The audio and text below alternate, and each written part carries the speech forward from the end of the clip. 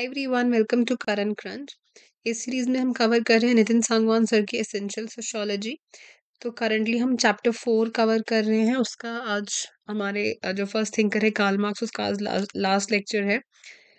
तो do stay till the end काफ़ी important चीज़ें इसमें हम डिस्कस करेंगे। एग्ज़ाम पॉइंट ऑफ़ व्यू से काफ़ी इंपॉर्टेंट है। ठीक है? तो फ्लू अभी भी वैसे का वैसा ही है। आपको थोड़ा करना पड़ेगा कॉम्प्रोमाइज़ वॉइस डेसिबल पे और एनर्जी लेवल्स पे। बाकी कॉन्सेप्ट मैं आपको अच्छे से समझा दूँगी। तो स्टार्ट करते हैं आज का लेक्चर देखो, अभी तक हमने कार्ल मार्क्स का ये डिस्कस कर लिया, ये सारा। क्लास एंड सोसाइटी कैसे क्लास उनका सेंट्रल कॉन्सेप्ट है और पोलराइजेशन हो जाएगी। तो अल्टीमेटली जो इंटरमीडिएट क्लासेस हैं, या वो अपवर्ड मोबिलिटी से बर्जोइजेशन या प्रोलिटेरियनाइजेशन वो कॉन्सेप्ट भी एक्सप्लेन कर लिया। फिर क्लास को एक्चुअली अवेयर होने की ज़रूरत है एक्सप्लॉइटेशन को रोकने के लिए। तो अभी क्लास इन इट सेल्फ में है कैपिटलिज्म में ये क्लास फॉर इट सेल्फ बन जाएगी, ठीक है? ये सारा कॉन्सेप्ट जो है, मैंने एक्सप्लेन कर लिया है। If you want you can go through the video once again now let's start today's lecture Marx जो है, वो देखते हैं क्लास को in terms of antagonistic cooperation देखो एंटीगोनिस्टिक यू नो कॉन्फ्लिक्ट ठीक है, और कॉपरेशन इसका क्या मतलब हुआ कि कैपिटलिज्म में क्या होता है? एक्सप्लोइटेशन फॉर एग्जांपल हो रही है लेबर क्लास की, लेकिन ये भी तो देखो, वो एक्सप्लॉइट होने दे रहे हैं, क्योंकि वो इंडिविजुअल एग्जिस्ट नहीं करते हैं, उनमें इंटरडिपेंडेंस है। कैपिटलिस्ट को लेबर्स की ज़रूरत है काम करने के लिए, ताकि वो प्रॉफिट कमा सके। और लेबर्स खुद, क्योंकि एक सो कॉल्ड गरीब तबके को बिलोंग करते हैं, उनको काम की ज़रूरत है, इस वजह से वो खुद को ये करने दे रहे हैं एक्सप्लॉइट करने दे रहे हैं। तो इसी वजह से एक इंटरडिपेंडेंस है, इसीलिए रिलेशन कंटिन्यू हो रहा है, ठीक है? कॉन्फ्लिक्ट भी है, लेकिन उस कॉन्फ्लिक्ट में कहीं ना कहीं वो एक दूसरे पे डिपेंड भी करते हैं। तो जो क्लास स्ट्रगल है is also inherent in Marx in conception of class ये क्लियर हो गया कल ही। हमें हर mode of production that means her stage में हमें हैव्स एंड हैव नॉट्स मिलेंगे। They enter in to the relations of production owner या ओन्ड ठीक है? और इस एंटोगनिस्टिक कॉपरेशन की वजह से क्लासेस के बीच में स्ट्रगल होगा और ये struggle keeps on increasing Marx ने कहा था history of hitherto hitherto means until now existing society जो है is history of class struggle और class struggle acts as a motor of history ठीक है? समझिए कि अभी तक की जितनी भी क्लासेस रही हैं एग्जिस्टिंग सोसाइटीज़ रही हैं, उन सोसाइटीज़ के चलते चलते आपका क्लास स्ट्रगल भी कंटिन्यू हो रहा है। तो अभी तक की जो हिस्ट्री है एग्जिस्टिंग सोसाइटीज़ की टिल नाउ जितनी सारी हिस्ट्रीज सोसाइटीज़ रही हैं, वो सेम है किसके? हिस्ट्री ऑफ़ क्लास स्ट्रगल के, क्योंकि हर मोड ऑफ़ प्रोडक्शन में हर स्टेज में आपको क्लास स्ट्रगल भी देखने को मिलेगा, जैसे जैसे सोसाइटी चेंज हो जाएगी, वैसे वैसे क्लास स्ट्रगल भी जो है वो चेंज होता जाएगा। ठीक है? ये एक मिनट पहले सेट कर लेते हैं।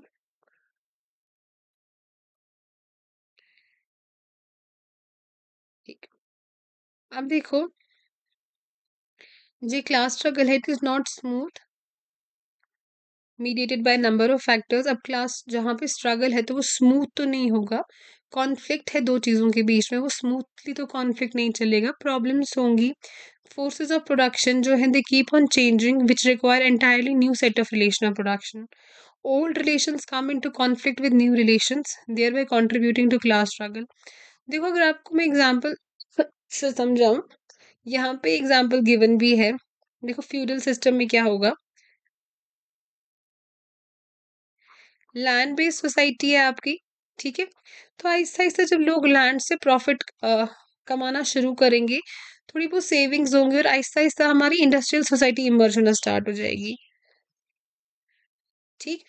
अब अभी आप फ्यूडलिज्म में ही हो, लेकिन कहीं ना कहीं लैंड सब आप फैक्ट्रीज में स्विच करने लगे हो। That means forces of production change हो जाएँगे। अब, इसमें रिलेशन ऑफ़ प्रोडक्शन क्या था? इसमें आपके पेजेंट्स होते थे सर्फ्स वगैरह? उनको सिर्फ़ लैंड पे काम करना होता था, घर नहीं छोड़ना होता था मोबिलिटी माइग्रेशन नहीं करनी होती थी। लेकिन इंडस्ट्रीज़ में आपको वर्कर्स की ज़रूरत है जो जोग्राफिकली मोबाइल हो दैट मीन्स जो मूव कर सके अपने विलेजेस छोड़ के इंडस्ट्रीज़ के आसपास रह सके, ठीक है? तो एक कॉन्फ्लिक्ट आ गया। पुराने पेजेंट्स ने क्या किया? लैंड की ऐसा ऐसा इंपॉर्टेंस खत्म होने लगी क्योंकि पेजेंट्स ही नहीं बचे। वो फैक्ट्रीज की तरफ़ चले गए फैक्ट्रीज का काम करने के लिए। तो हर मोड ऑफ़ प्रोडक्शन में ऐसी एक स्ट्रगल चल रहा था, एक कॉन्फ्लिक्ट चल रहा था, जिसकी वजह से क्या हुआ?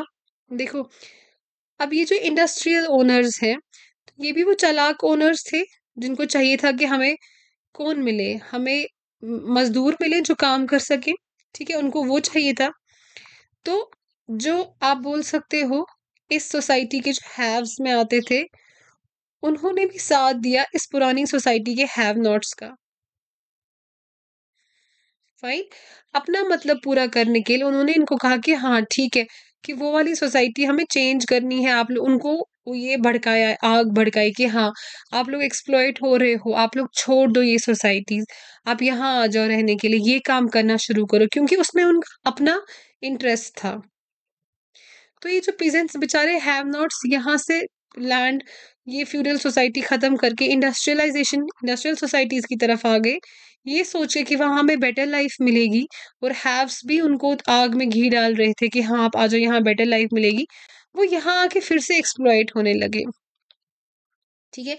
यहाँ की एक्सप्लॉयटेशन कंटिन्यू हुई क्योंकि वहाँ भी उनको उकसाया गया कि हाँ आप लोग आ जाओ यहाँ पे, वो सोसाइटी छोड़ दो, यहाँ पे आपको बेटर सोसाइटी मिलेगी। पर वहाँ पे उनकी एक्सप्लॉयटेशन कम नहीं हुई, बड़ी बड़ी ही, ठीक है? अगर आप इसको यहाँ इंडियन सोसाइटी के कॉन्टेक्स्ट में भी देखो, क्या होता है? जो कास्ट बेस्ड सोसाइटीज हैं sorry caste based political parties जो हैं, वो आपको बोलते हैं कि आप एक्सप्लॉयट हो रहे हो, हमें वोट दो, हम हेल्प करेंगे वगैरह वगैरह, ये चीज़ इशू उठाते हैं, ये इशू उठाते हैं इलेक्शंस के टाइम पे। पर अल्टीमेटली क्या हो रहा है? अगर आप ये सोसाइटी में क्या हो रहा है? ये अगर आप देखोगे तो उतनी ज़्यादा चेंजेस भी नहीं आ रही हैं। अभी भी कहीं ना कहीं सो कॉल्ड सो कॉल्ड दलित जो नाम दिया गया है सो कॉल्ड लोअर कास्ट आप जहाँ भी लोअर कास्ट मेंशन करो, चाहे अपने आंसर्स में, चाहे लेक्चर में, कहीं भी आपको सो कॉल्ड ज़रूरी साथ में लिखना है इट शोज़ कि आप ही बिलीव नहीं करते, ऐसा नाम दिया गया है, ठीक है? तो ऐसा हुआ कि एक दलित घोड़ी चढ़ा एंड उसको मार दिया गया इस बात पे कि वो कैसे घोड़ी चढ़ सकता है, वो सो कॉल्ड लोअर कास्ट है। तो ऐसे इंसिडेंट्स दिखाते हैं कि सोसाइटी उतनी नहीं बदली है। तो उनकी दुखती रग पे हाथ रखते हैं कुछ पावर हंग्री लोग जिनको बस पावर में आना होता है और अल्टीमेटली उनकी कंडीशन जो है वैसी की वैसी रह जाती उसी को अगर आप मार्क्स के लेंस से दे, देखो तो मार्क्स ने बात गलत नहीं गई थी। इंडस्ट्रियल सोसाइटी के जो इमर्जिंग फैक्ट्री ओनर्स थे उन्होंने कहा कि हाँ आप लोग ठीक कर वहाँ पे एक्सप्लॉइट हो रहे हो आप लोग यहाँ आ जाओ। क्योंकि उनको अपना मतलब चाहिए था और वहाँ पर उनको और एक्सप्लॉयट किया गया। और फिर जो चालाक ज़मींदार थे वो भी वो चालाक ज़मींदार इस सोसाइटी के इंडस्ट्रियल इंडस्ट्रियलिस्ट में बन गए। तो उन्होंने जल्दी खुद को स्विच किया लैंड से इंडस्ट्रियलिस्ट और जो कम अकल ज़मींदार थे कि नहीं ज़मीनें हम हमारा कभी चेंज नहीं होगा वो वहीं रह गए और उनकी कंडीशन उतनी ज़्यादा इम्प्रूव नहीं हुई। तो जो आ, इसके हैव्स जल्दी स्विच कर गए इंडस्ट्रियल सोसाइटी के हैव्स में आ गए तो वो वहाँ के कैपिटलिस्ट बन गए ठीक है? और जो एक्सप्लॉयटेशन थी वो कंटिन्यू रही। ये इनका आ, कहने का मतलब था। आगे देखते हैं।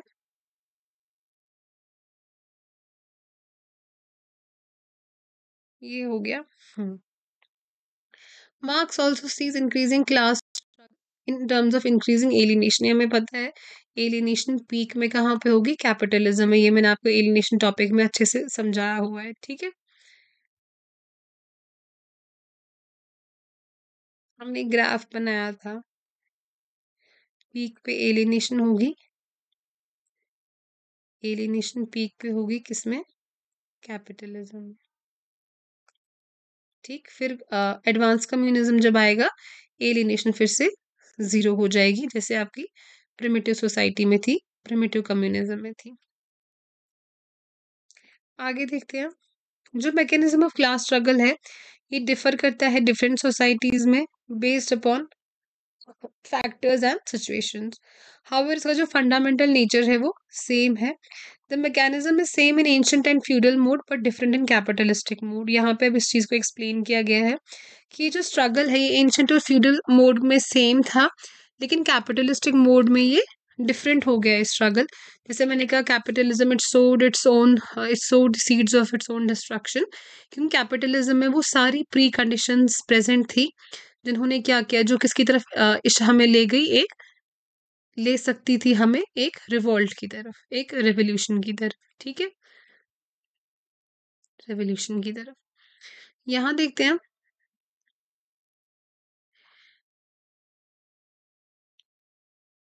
In ancient and feudal mode, the have-nots and their struggle was supported by the emerging class, which is a representative of the new forces of production ठीक है? ये जो इमर्जिंग क्लास थी is from the haves of the new modes of production यही है जो मैंने आपको अभी एक्सप्लेन किया यहाँ पे। वो वही सारी चीज़ें यहाँ पे बोली हुई हैं।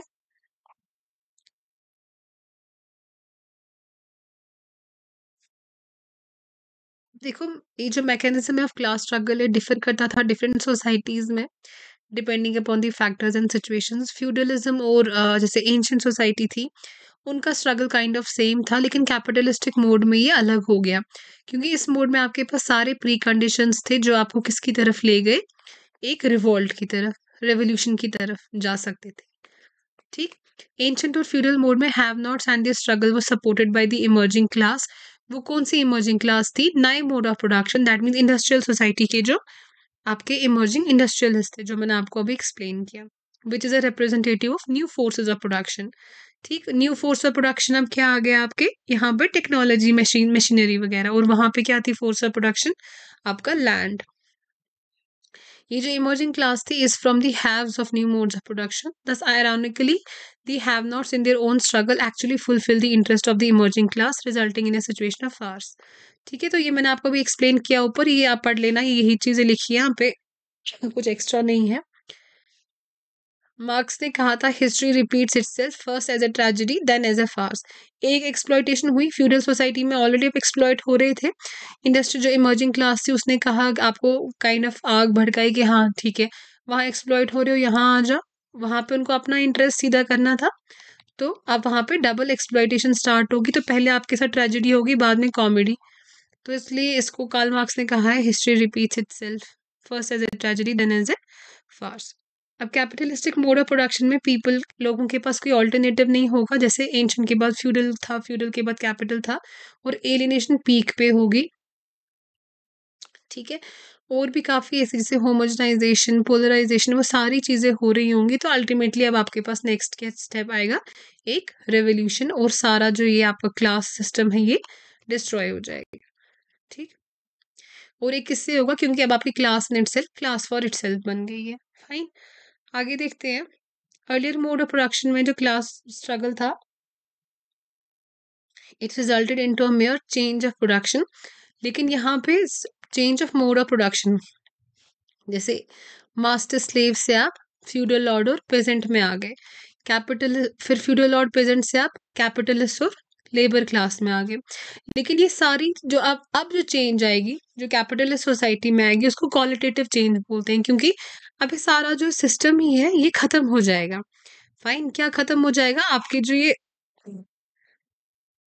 इनइक्वालिटी है क्लास बेस्ड सोसाइटी है, अभी एक क्लास से दूसरी क्लास पे स्विच कर रहे हो, लेकिन हैव हैव नॉट्स वो कॉन्सेप्ट तो सेम रह रहा है ना अभी कॉन्सेप्ट ही खत्म हो जाएगा।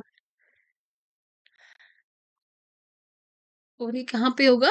capitalistic mode of production में that workers gained a critical mass in terms of true consciousness leadership ideology and changed the structure itself thus the ensuing revolution is for emancipation of all including the capitalists and the end of perpetual class struggle as well ठीक है capitalism में हो जाएगा एक true revolution thus according to Marx revolution will not come on its own but it's possible only if some mature condition exist और वो सारी mature condition कहाँ मिलेंगे आपको कैपिटलिस्टिक सोसाइटी में these mature condition include critical mass of workers having consciousness remind कराओ class in it self से class for it self एक network of communication among workers clear perception of common enemy वगैरह, एक ideology एक organise form में तो leadership भी generate हो जाएगी। ये सारी चीज़ें कैपिटलिज्म में प्रेजेंट हैं। इसीलिए ये रेवोल्यूशन कैपिटलिज्म के बाद आएगा। वर्कर्स रेवोल्यूशन जो है will result into state of transition जहाँ पे पहले workers will trade take over और एबॉलिश करेंगे सारी प्राइवेट प्रॉपर्टी तो हमारे पास कम्युनली ओन प्रोडक्शन आएगा। दैट मीन्स अब जो प्रॉफिट होगा वो सब लोग ओन करेंगे और एक हैंडफुल लोगों के पास नहीं जाएगा। इस स्टेज को मार्क्स ने बोला सोशलिज्म जहाँ पे स्टेट कंट्रोल करेगी सारा। फाइनली स्टेट का इन्फ्लुएंस भी ख़त्म हो जाएगा और प्रोलिटेरियट्स जो हैं आपके, उनके पास रूल आ जाएगा। और हम किस स्टेज में आएँगे? एडवांस्ड कम्युनिज्म में आप जो कम्प्लीटली क्लासलेस सोसाइटी आपकी है वो आएगी। यहाँ पे क्लास स्ट्रगल और डायलेक्टिकल मटीरियलिस्टिक प्रोसेस जो है वो एंड हो जाएगा। ठीक है? ये चीज़ें हमने पहले भी एक्सप्लेन मैंने आपको बोला था डायलेक्टिकल मटीरियलिज्म कैसे लास्ट स्टेज में ये जो है ये एंड होगा। फाइन तो ये चीज़ पहले भी हमने बात की है। आप मेरे वो डायलिटिकल मटीरियलिज्म हिस्टोरिकल मटीरियलिज्म वाला लेक्चर जो है वो देख सकते हो प्लेलिस्ट से ढूंढ के। अब क्रिटिसिज्म क्या है मार्क्स की थ्योरी का?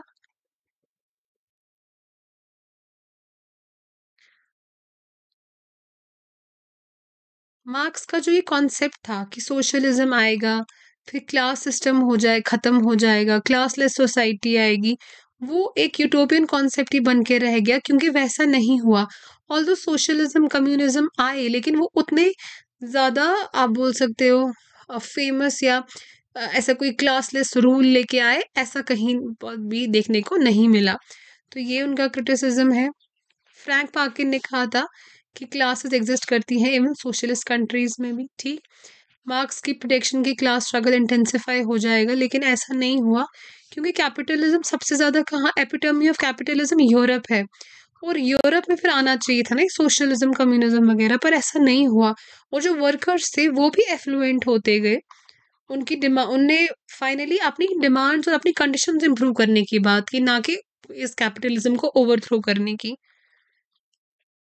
वेबर ने कहा, बाकी बेस ऑफ़ स्ट्रैटिफिकेशन भी है, ये हमें वेबर जब थिंकर डिस्कस करेंगे, तब पढ़ेंगे। लेंसकी ने कहा कि ब्रेक डाउन ऑफ़ कैपिटलिज्म में not lead to socialism other modes of production भी आ सकते हैं। जैसे इंडिया में क्या है? मिक्स्ड इकोनॉमी का कॉन्सेप्ट है। तो कहीं ना कहीं हम कैपिटलिस्ट से भी लेते हैं कैपिटलिस्ट के एलिमेंट्स भी और सोशलिस्ट के एलिमेंट्स भी हैं। ठीक है? तो बाकी मोड्स ऑफ़ प्रोडक्शन भी है। ऐसा नहीं एक ख़त्म हो जाएगा, दूसरा आ जाएगा। दूसरे मोड्स ऑफ़ प्रोडक्शन भी इमर्ज हो रहे हैं। डैंडॉफ ने क्या कहा था? कि manual working class has become increasingly heterogeneous और उन्होंने क्या कहा था? काल मार्क्स से होमोजेनाइजेशन ही जाएगी, ठीक है? क्योंकि सिमिलर इसमें होंगे सारे कंडीशंस में होंगे तो सिमिलर थॉट प्रोसेस होगा, लेकिन डैंडॉफ ने कहा ऐसा नहीं है। डिसिमिलर फोर्स ज़्यादा जो है एग्जिस्ट करता है, जो मैनुअल लेबर्स हैं, वो ज़्यादा डिसिमिलर है, इसलिए उनके यूनाइट होने के चांसेस बहुत कम है। तो ऐसा कोई रेवोल्यूशन जो है वो नहीं आने वाला है।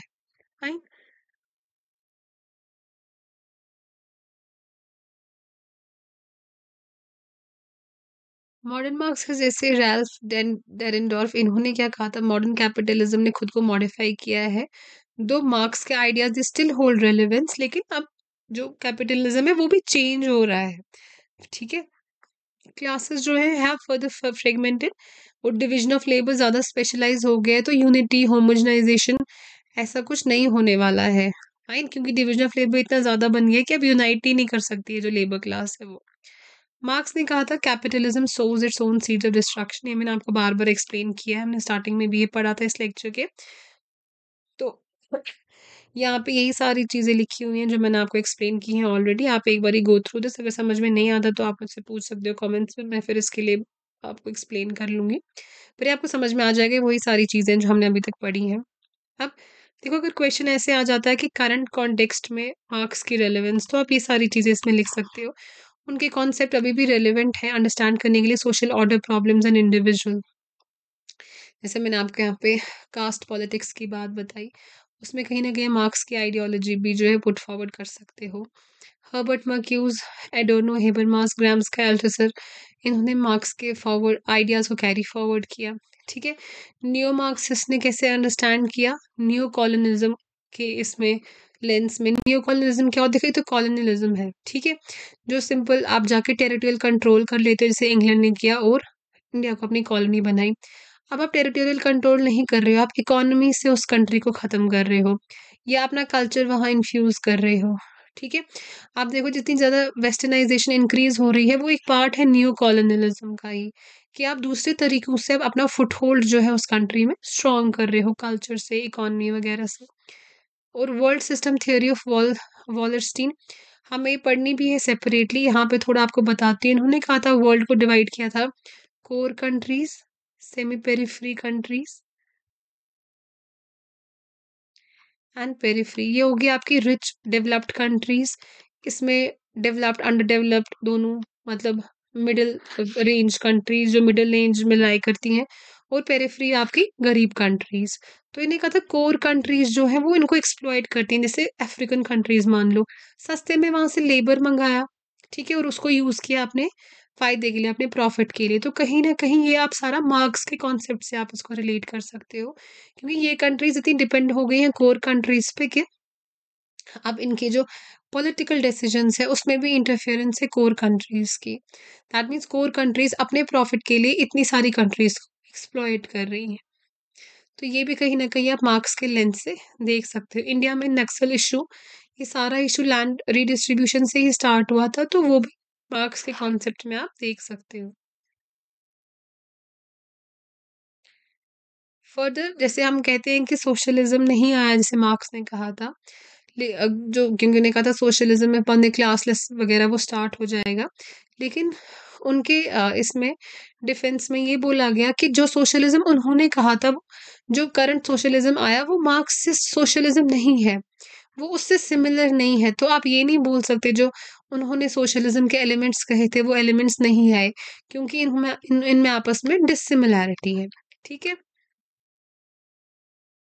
और कि कईयों ने मार्क्स को अक्यूज किया है। इकोनॉमिक डिटर्मिनिस्ट मैंने पहले भी आपको बोला इकोनॉमिक रिडक्शनिस्ट की सिर्फ़ इकॉनमी की बात करते हैं, लेकिन आप वो डायग्राम याद करो। इन्होंने ये भी कहा था कि आपका जो सबस्ट्रक्चर है, यहाँ पे से इकॉनमी आ गया पॉलिटी आ गया रिलीजन आ गया, ये सारी पॉलिटी आ गया रिलीजन आ गया लॉ आ गया फैमिली आ गया, ये सारा आपकी इकॉनमी से डिटर्मिन करती है। तो कहीं ना कहीं उन्होंने बाकी इंस्टीट्यूशंस की भी बात की थी। Acknowledges the influence of social superstructure on the economic infrastructure, ठीक है? तो ये जो दो है रिलेशन ये इंटरडिपेंडेंट है। ये इकोनॉमिक इंफ्रास्ट्रक्चर का इस सुपर स्ट्रक्चर पे असर पड़ता है और इस सुपर स्ट्रक्चर का वापस इकोनॉमिक इंफ्रास्ट्रक्चर पे भी असर पड़ता है। तो कहने का ये मकसद है कि बाकी इंस्टीट्यूशंस की भी बात हुई थी और एशियटिक मोड ऑफ़ प्रोडक्शन उन्होंने सेपरेटली कहा था कि वहाँ वैसे कैपिटलिज्म नहीं आया जैसे बाकी कंट्रीज़ में आया। तो वो उन्होंने खुद से सेपरेट दिया हुआ था, ये भी हमने लास्ट लेक्चर में पढ़ा है। तो while explaining mature conditions, which also will which will result in overthrowing of capitalistic mode of production, उन्होंने एक्नॉलेज किया था इन्फ्लुएंस ऑफ़ लीडरशिप और आइडियोलॉजी भी। तो सिर्फ़ इकोनॉमी की बात नहीं की थी बाकी बातें भी हुई थी। तो this completes your Karl Marx sorry अगर ये लेक्चर का भी आपको टेंपो डाउन लगा होगा। I am not feeling well जैसे जैसे कंडीशन बेटर होगी वीडियोस वैसे ही आना शुरू हो जाएँगे उतनी एनर्जी के साथ। So till the time I upload next video bye take care have a great day